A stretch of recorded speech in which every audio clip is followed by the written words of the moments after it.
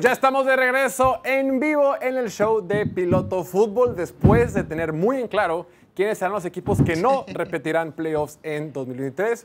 Justo lo vimos en el segmento anterior. Ahora vamos a hacer un ejercicio similar al que hicimos el martes. El martes hablábamos de las que son, para mí, en mi muy singular opinión, las 10 mejores ofensivas de la NFL. En esta ocasión, le voy a compartir aquí a estos estimados caballeros cuáles son para mí las 10 mejores defensivas que veremos en el 2023 en la Liga de Fútbol Americano de Estados Unidos. ¿Ok? Esta es mi lista y ustedes están, ustedes en casita, ustedes en el trabajo, ustedes donde sea que estén, tienen completa autoridad para criticarla, burlarse y decir que aquí no sabemos nada de nada. Ustedes Sobre todo también. burlarse. Sobre todo burlarse. Pues muy bien. ¿Perdón? Ah, ok, bueno. El punto es que ya nos cortaron el TikTok, pero ya estamos también en pasa vivo a través de Facebook, Twitch y YouTube. Muy bien. Esta próxima temporada, yo creo que la defensiva número 10 que veremos va a ser la defensiva de las Panteras de Carolina. Wow. Wow. Hay un dicho en inglés que dice, It is not about the X's and O's, it is about the Jimmys and Joes. O sea, no es de las que tan estratégico seas, sino a final de cuentas de los Jaimes y los Josés, o sea, de los jugadores en sí. Y si este equipo, si, este, si hay algo que tiene este equipo de, de- de Carolina, es talento en todas sus líneas. Desde la línea defensiva con Derek Brown y Cross Matos, que lo han hecho bien. Sus linebackers con Shaq Thompson y Frankie Lubu. Y atrás reforzaron el perímetro con Von Bell, que viene precisamente de Cincinnati. Jeremy Chin, que está en su tercer año, que lo ha venido haciendo bastante bien, un jugador de segunda ronda. Y tienes a JC Horn, que en el poco tiempo que ha visto el campo de juego en el fútbol americano, lo ha hecho bien. O sea, tienes estrellas, tienes juventud, tienes una defensiva rápida, que es lo que requieres para, una para las ofensivas buenas de la NFL. Y te faltó su mejor jugador de, de la defensiva.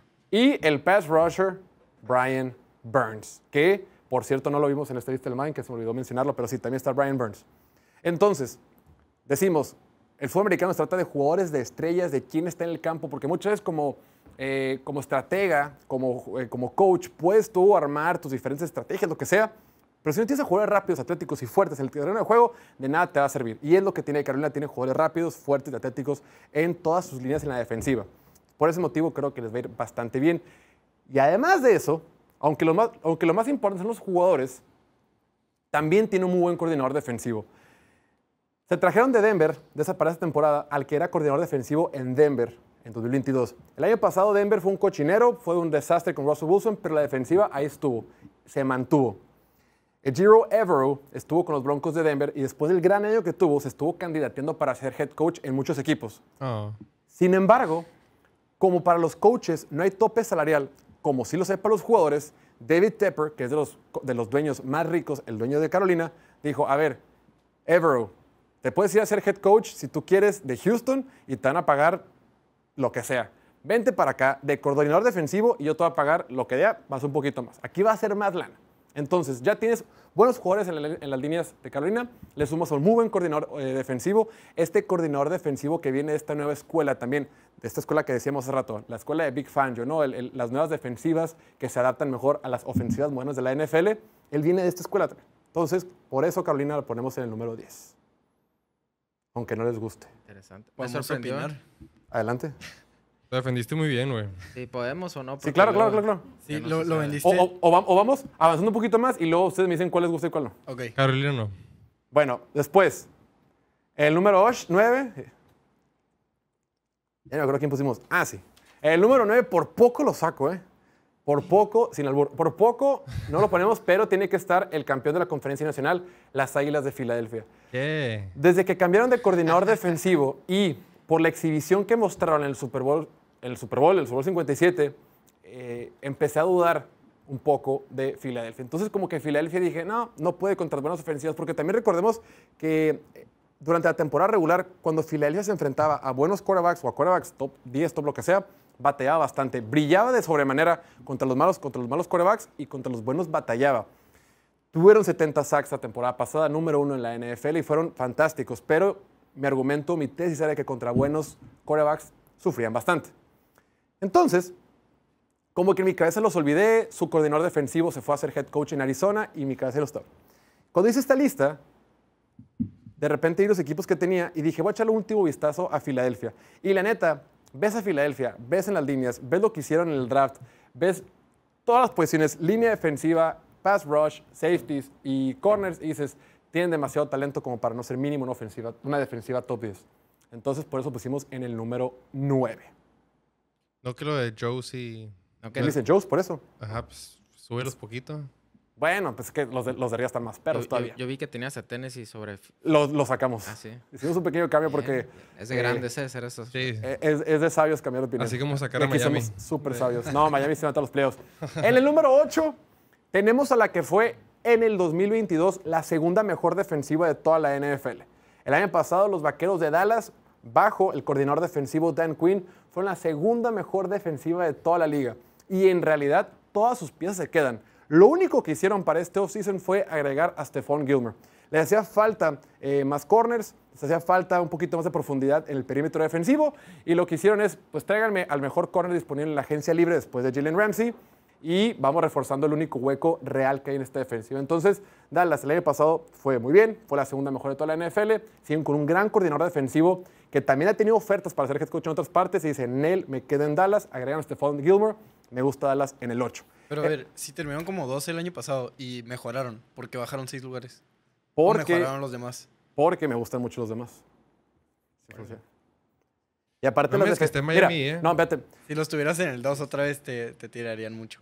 Ah, No, aparte, eh, Dallas la temporada pasada fue número uno en robos de balón, güey. Y los robos de balón hacen que te vaya muy bien, obviamente, en defensivas, pero los robos de balón no son sostenibles. No es una métrica que es constante año con año, como el pass rush, como son el juego por tierra. Hay otras estadísticas que son constantes años con- año con año. Pero los robos de balón, intercepciones y fumbles son muchas veces circunstanciales. Y Dallas fue número uno el año pasado. Entonces, ¿Y el año antepasado? también. Es un buen argumento.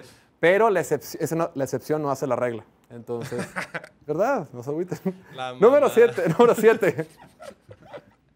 número 7, tenemos a la defensiva de Baltimore. Lo hemos comentado, lo decía hace rato Emilio, aunque me burlé de él. Es verdad, la temporada pasada, a partir de la semana 9, que llegó Roquan Smith, los mejores linebackers interiores a esta defensiva de Baltimore, que le permitió mucha libertad al otro linebacker Patrick Quinn, con el joven pass rush que tienen, con los corners y el perímetro defensivo tan talentoso que tienen, en un segundo año con el coordinador defensivo Mike McDonald, creo que Baltimore va a brillar. Ah, repito, la temporada pasada, desde que llegó Roquan Smith, la defensiva de Baltimore fue top 5. Entonces, el talento, ahí está. Es un segundo año con este coordinador defensivo, les debe ir mejor. Kyle Hamilton, que fue la primera selección eh, que tuvieron en el draft del 2022, vino de menos a más la temporada pasada, entonces yo creo que va a tener un gran año y la defensiva, el perímetro va a mejorar. Número 6, tenemos a Buffalo, que hace una defensiva muy consistente, que siempre es la mejor defensiva de la temporada regular. En los playoffs es otra cosa.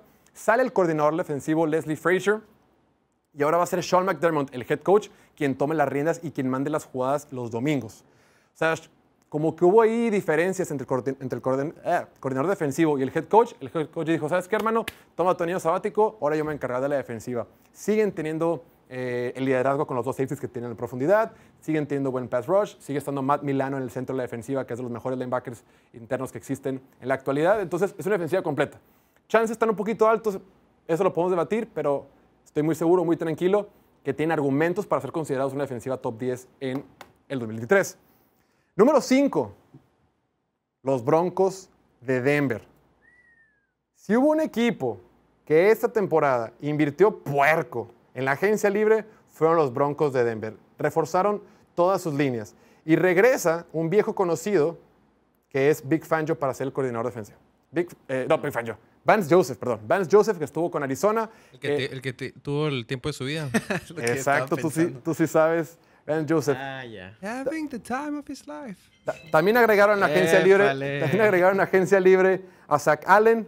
eh, Randy Gregory la temporada pasada, otro pass rush estuvo bastante lastimado. Tienen uno de los mejores safeties de la NFL, tienen uno de los mejores corners de la NFL. Frank Clark, ¿no? También. Frank Clark también está, lo trajeron de, de Kansas City. Invirtieron fuerte, sus terceras rondas fueron en linebackers. Las, gran parte del draft lo invirtieron en este lado del balón, entonces creo que Denver va a retomar un buen año en 2023. Número 4, tenemos a los poderosos Delfines de Miami. Ya sabía yo. ya Quienes van a estar en los playoffs. Repito, hueva, eh. lo decíamos. Jimmy y Joes tienen estrellas en todos los niveles, línea defensiva, pass rush, linebacker, corner y safety. O sea, tienen las posiciones clave a superestrellas de la élite del fútbol americano. Y le sumas a este coordinador defensivo que estuvo retirado, que fue quien eh, ha desmantelado a estas ofensivas modernas de la NFL. Creo que Miami tiene todos los argumentos para ser una defensiva top 4, top 5 en el próximo 2023. Pues tiene los Jimmys y Joes y los X's and O's. Eso. Entonces, Yo, ¿Y yo pienso sale? que es igual de importante tener el sistema, la defensiva diseñada a la medida de los jugadores y el las play caller que esté a la medida para que todo funcione, no solo tener las piezas. sí, pero Obvio, pues obvio, tienen obvio. las dos, entonces. Ajá. Ajá. Obvio, pero lo que el argumento o esta frasecita caché quiere decir que es más importante tener buenos jugadores, porque puedes ser el mejor estratega del mundo, pero tienes a puros malos jugando, pues no Bill. Belichick dice lo contrario. Correcto, por eso es el mejor head coach de la historia. Después, el número, el número 3 tenemos a los Jets de Nueva York. Los Jets de Nueva York la temporada pasada fueron una defensiva top 5 en métricas de eficiencia y la defensiva es prácticamente la misma, únicamente perdieron algo de profundidad soltando a Nathan Shepard y Sheldon Rankins, pero lo agre- agregaron a... ay, se me fue el nombre del el- el de, el de Seattle. No, un tackle defensivo de Seattle que se me fue el nombre. Pero bueno, agregaron el tackle defensivo. Tienes a Quinn Williams, que acaba de firmar contrato, que es de los mejores tackles defensivos de toda la NFL. Y fueron por Will McDonald en el draft, ¿no? Un linebacker. Eh, sigue estando Robert Sala, esta mente defensiva para, para mandar a este grupo. Y los Jets, pues, tienen un equipazo. Y creo que lo más importante es que la defensiva no va a tener que jugar todo el partido porque no tienes a Zach Wilson regalando el balón ya. Entonces, eso sí ayuda bastante, la Te cansas menos. Sí. ¿Es en serio? sí. No, sí, pues sí No, cansa. sí, sí. ¿Es en serio, güey? Y no tienes que empezar tu drive con una ofensiva que está a 5 yardas de anotarte. pues. Claro. También eres más feliz. Sí. Menos feliz. Después, el número dos, hablando de X's and O's, vamos a poner a Bill Belichick y la defensiva de los Patriotas. Lo platicamos la otra vez con, con los chicos de. Chihuahua, con Chuy, y decíamos, Patriotas no tiene buenas, no tiene estrellas en todo el equipo, tiene un par de estrellas, entre ellas Matt Judon, ¿no? uno de los mejores pass rushers de toda la liga. Sin embargo, esta defensiva de los Patriots en las últimas cuatro temporadas, en tres ocasiones ha terminado el año como una defensiva top 4. O sea, con todo y que nunca han tenido estrellas, Bill Belichick siempre encuentra manera de ser top 4 en la liga. Y ahora que en el, eh, sus tres primeros picks del draft fueron para el lado defensivo, agregaron a Christian González de Oregon el corner en la primera ronda. Mm, El año pasado fueron también robo. top 5 en métrica de eficiencia. O sea, no, no tienen por qué bajar. O sea, no tienen por qué no estar. Aunque no me encanta, aunque no veas jugadores tan brillantes, de tan brillosos o lo que sea, brillantes y brillosos no. Pues New England merece estar ahí. Y el número uno, no hay nada que hacer, con todo y que cambiaron de coordinador defensivo. Eh, llega Steve Wilkes, que estuvo con los Panteros de Carolina, ahora en San Francisco será quien dirija la defensiva. El talento ahí es una ridiculez, güey. O sea, no, no se acaba. Desde la línea defensiva eh, con Eric Armstead, Javon Hargrave, Drake Jackson, que va a estar, que fue el novato el año pasado, que fue una locura de USC. Obviamente está Nick Bosa. Eh, de linebacker tienes al mejor linebacker del mundo con Fred Warner. eh, se entiende muy bien con Drew Greenlaw. Y atrás, pues tienes buen corner con Travis Ward. Tienes un safety joven con Telenor Hufanga. Tienes talento de todas partes, güey. O sea, se acabó, güey. O sea, es demasiado talentoso como para, como para no considerarlos como la mejor defensiva del 2023. Ahora sí. Que le, han dado, oídos. que le han dado a chamba a muchos coaches, ¿no? O sea, todos los que... El siguiente coach de la defensiva de, de San Francisco probablemente también va a ser head coach de la liga. Probablemente. Lástima que ya ha sido Steve Wilkes, ya ha sido head coach. Pues sí. Pero sí. Tiene su regreso. Entonces vamos a poner el ranking y nada más se van a ir uno por uno diciendo, Jorge, la lista está perfecta, no tengo observaciones. Empiezas tú, Martín. En lo general, está- está bien, pasa. Este, nomás Carolina, la- pues, más o menos. Con- yo considero la de Washington que puede Washington tener un buen año. sí puede caber ahí. Yo hubiera cambiado a Carolina por Washington. La de los Saints, po- pienso que también pueden tener un buen año. ¿Sabes y qué pasa con Saints, güey? La neta, los mejores jugadores, todos viejitos. tienen la edad de mi papá, güey. Sí, sí, sí. Cameron O sea, Jordan, Demarie Davis, Larry Morton ya está más ruquillo. No, Lennon no tanto, pero este, eh, Matthew. Matthew, güey. O sea, Sí. las estrellas en cada uno de los niveles de defensiva, ya todos también rucos, güey. Sí, de El- acuerdo. El, ¿Cómo? tema es que Filadelfia está muy bajo. Este, para mi gusto, con el nivel de estrellas que trae. Sobre todo cuando, cuando siempre vaya a estar, siempre este, ¿Quién? Filadelfia. Yo creo que Filadelfia va a estar ganando la ma- mayoría de los juegos y Hassan Reddick presionando al coreback, sabiendo que van a lanzar, o sea, es una super ventaja. Sí, es que dices Filadelfia el 9, no mames, pero lo ves a los demás y como que les ves poquito más potencial y, Y luego que la no línea está tan interior. ojete, pues. A lo mejor Es que, jovencita que, tienen. es que hacer los rankings es bien difícil porque empiezas como de arriba hacia abajo, luego de abajo hacia arriba y luego terminas en medio. Chance la de Denver creo que me quedó un poquito arriba, güey. Muy arriba. A lo mejor podría bajar Denver tres o cuatro lugares y empujar a todos los demás, güey. Y, y a Panthers lo pudiera sacar. Sí, la neta Panthers tienen buenos, buenos nombres y tienen juventud más que nada, ¿no? O sea, creo que unos 2, 3 años van a ser top 10 seguro. Pero Bueno. para esta temporada creo que tiene un, un piso muy alto por lo mismo, porque pues son jóvenes y no pueden empeorar, Son ¿no? rápidos, son muy rápidos todos. pero el, el- el techo no se me hace tan alto, más que nada porque no tienen profundidad. Eso o es cierto. Sobre todo en la posición de corner. JC Horn, Dante Jackson y CJ Henderson, todos son propensos a lesionarse. Con que uno te- se te lesione, vales madres. Acuérdate lo que le hizo Mike Evans la temporada pasada, que tuvo tres touchdowns en un partido. Los tres fueron largos. Está- No me acuerdo ni quién era el corner que traía de hijo, pero... O sea, eso puede volver a pasar fácilmente esta temporada. Es cierto, sí no tienen profundidad en la posición. Y en vez de Carolina, creo que metería a Pittsburgh con una temporada completa de TJ Watt, también. con la llegada de Joey Porter, Patrick Peterson, Alex Highsmith, que Está le acaban de bien. pagar. No, no me ves los cabrón. comentarios de quién es ese güey. Cabrón, tuvo 14 sacks y medios. Es uno menos que Miles Garrett, que es el segundo, tercero o hasta primero para algunos, el mejor edge rusher en la liga.